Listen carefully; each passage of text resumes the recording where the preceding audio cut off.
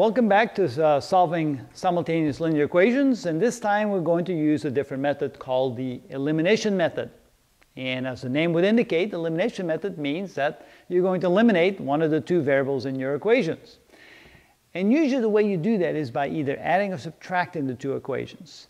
In my method, the way I like to apply, it's not really my method, I didn't come up with it, I just learned how to do that. But the way I like to use that elimination method the best is by adding the two equations in such a way that one of the variables drops out. And here you can see if I simply add the two equations I have a plus y in one equation and a minus y in the other equation, when I add them up, the plus y and the y, y will cancel and therefore it will get eliminated. So let's do that. x plus x gives me 2x plus y minus y, that's plus 0, equals 6 plus 2, which is 8. So by combining or adding the two equations, I've eliminated the y. And now I end up in an equation with just one variable, which is easy to solve for x. So this gives me 2x is equal to 8. Divide both sides by 2, and I get x equals 4.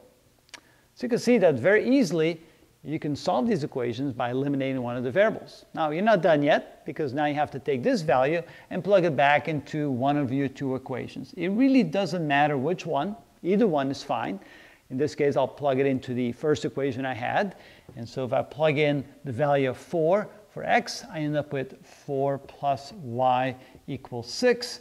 Moving the 4 across, I get y equals 6 minus 4. Remember, when you cross the equal sign, the sign changes, so y equals 2 is the y coordinate of the point where the two lines cross. So my solution, therefore, will be 4 comma 2. This is the point where the two lines cross. Just to make sure we did this correct, because it seems like the correct answer, but how do you know for sure?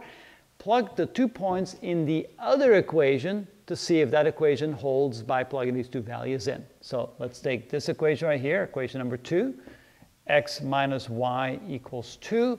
When we plug the x and the y value in here, so we have 4 minus 2, is that indeed equal to 2?